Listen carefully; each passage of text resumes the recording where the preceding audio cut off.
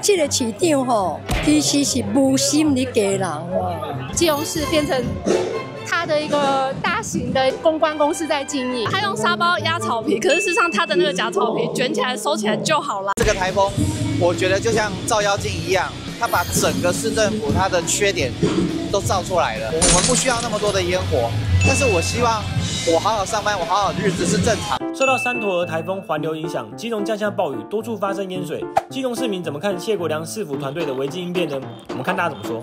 基隆市长不太像我们区域的一个首长，他的市政没有做得很到位。我觉得造成这次淹水，水沟没清，可能市民看得到说，哎，水沟就是塞住了，就满起来了。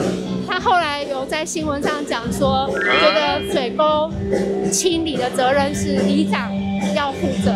他很会在媒体放风声，所以我们都笑说，人家市长去看去看灾，可是我们市长是出动网军，网军就会帮他在救人、基隆大圣宫那些粉丝也帮他洗地。我就是其实是一个金融市民，我希望问题能解决。他放假放的那个天数本来就不太对，晚上八点公布说礼拜五要上班上课，然后那天就开始一直下大雨。可是灾情是在礼拜五凌晨传出来的。你是真的体恤市民的市长，你可以。临时更改你的决策，我们都觉得你有很多补救的机会。半夜在淹起来，甚至土石流的时候，要封路的时候，你还可以再改变决策一次，通通没有应变。我想很多市民都受不了。台风假每个人都喜欢，他这一次的台风假放得非常的不开心。他可以政治性的放假没有问题。上个礼拜我才从这边骑摩托车过来，其实水沟的味道也越来越重。但我没有想到这一次的台风会是因为它的水沟没有清。来举高雄好了，他。放了四天，他应不应该？我们可以稍微去思考一下。高雄市长做了一个决定，让大家可以清家园，其实也可以考量这样子的决定。我们不要讲说民进党或者是林佑昌执政的时代没有味味道，八年其实有改善，田寮河的味道是有改善的。那为什么这两个礼拜，哎，我怎么闻到我那时候念书的田寮河的味道？非常不合格啊！如果以这样子的处理态度跟方法，那每个人都可以当市长。第三天，我们一直觉得，哎。基隆到处都淹水，那小孩一直在问说，明天要不要去学校？妈妈就跟他们说，应该是不用了，因为这样子危险度很高。没想到小孩就是冒着风雨去学校，然后去到学校，小孩的布鞋全部都是湿的，完全没有应变能力呀。其实水沟有没有清好，问居民最清楚啊。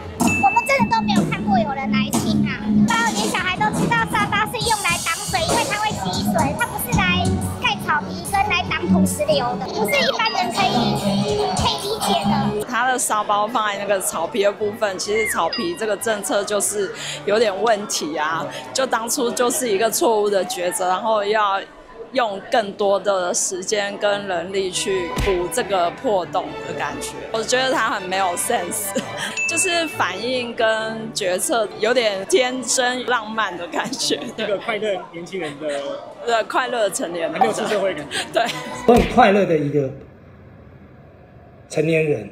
在我看来，第一天放假，他也是为了救他自己的选情那种感觉。比北北基桃由基隆最先宣布他要放假，接连的影响了其他的县市嘛。基隆在第三天还是有积水，然后土石流没有清完的时候，他却选择说：“哎，我们就是正常上课。”网友在询问说为什么第三天不放假的时候，他才说有需要的可以再请假。没有做好一个防台的准备就算了，他还后续的善后。都没有做好，对金融人来说，我觉得不是一件好事。觉得有点夸张啊！第一天的时候，其实天气突然间觉得说，呃，要让大家放假，我们是一头雾水。等到第三天，真的很惨，因为像我自己要通车到台北，我那天一样的时间出门，但是是两倍的时间才才到达台北市。我搭公车的时候，其实你可以发现，整车的人都很生气，家里有点乱，你都要清啊，然后完全没有时间，你就莫名其妙又又要上班了。整个决策的过程。该放不该放，就是大家都有自己的生活要过。如果今天天气状况真的很差，那我们就觉得我们就乖乖在家嘛。可是如果说天气状况很好的时候，不是每个人都觉得台风假很棒，因为你太多的事情了，你还要处理善后，搞不清楚是什么情况。他上任以来，其实他根本没有在思考哪些东西是你要花心思去处理的。我觉得正常的市民，如果你用用点脑筋去想，我们不需要那么多的烟火，但是我希望我好好上班，我好好的日子是正常的。我也有很多奇怪的东西。这个台风，我觉得就像照妖镜一样，它把整个市政府它的缺点。都造出来了。呃，谢国良市长在接受访问的时候，他说：“哦，其实基隆四面环山，生活在这里二十六年的人，就是他所谓的基隆四面环山，其实基隆是盆地，不是丘陵。这一整个大家对于地理知识这整件事情来讲，都是一个很荒谬。我们家虽然是山坡，但是我可以看到，就是水沟里面都是没有清的，希望可以早做预防。”而不是说事后再来处理。这是基隆第一次这么大的淹水。台风天的前一天晚上，那个市长居然没有说他要成立应变中心，而是隔天早上才说，而且还是在大家之后。我觉得这个应该是一个市长，我坐在这个位置，我就要为大家、为这个市民做服务。但我从他身上完全没看到，他没有在市长的这个角度上，他都还在利己，他都在先想到他。他自己，但他没有想到说，其实真的市民。所需要的是什么？可以想得到我们的市长，而不是都想到他自己的市长。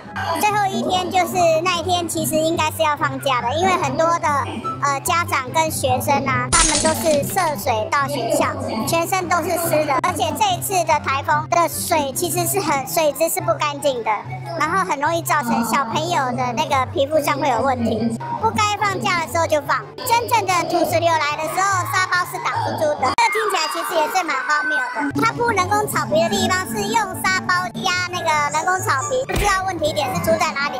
对，这一般的市民应该会有这种感觉吧。印象中是礼拜二晚上宣布说要隔天放假嘛，但是隔天的风雨预测我印象是没有达标的，所以那天放的大家都很错愕。礼拜四一整天其实基隆的风雨都开始有造成了一些灾害嘛，淹水，然后土石流等等的。那礼拜五没有宣布放假这点，哎，他在做决策上面是不是他太没有？有自己的想法，他用沙包压草皮，可是事实上他的那个假草皮卷起来收起来就好啦。他有跟大家讲说，呃，灾民如果有需要可以去跟去公所领沙包，但大家到了现场才发现没有人上班，没有人登记可以让灾民拿沙包。沙包拿来当土石流，这个我不知道他为什么会有这样的 idea。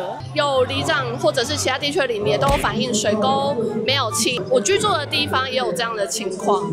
对，就是水沟里面都是杂草。这个市长吼。其实是无心你家人哦，不管你今日有转来哦无来哦，你家人饮水饮到你九点再来上班，敢会想过公子哥儿安尼嘛？十几年毋捌咧饮水啊呢？迄安尼想过离谱啦！伊就是因为你无清水沟嘛，这无清水沟的代志，大家拢知影。规工就找伫你遐国民党的兄弟来家人。我借问一下，你无心你咧家人，你就较紧倒台。十月十三号，款款的你较紧落来，较袂遐艰苦啦。先放了一个无所谓的台风假，然后礼拜五明明最严重也没有放，大家都淹水，然后要去上班上课，然后还有人因为退水积水在那边，然后跌骑车跌倒，处理吗？还是不处理？他都没有正面回应啊。还是他都不知道，他的幕僚都没有告诉他发生了这些事情，下面的螺丝都已经松了。后面那两年，因为他快做完两年，我们也要罢免他了。他就是真的不是人。当一个市长，要能够了解他本身被赋予的权利之外，也要知道他该承担的责任。我们需要一个怎样的市长来帮助大家，让大家好好真正的过好大家的生活。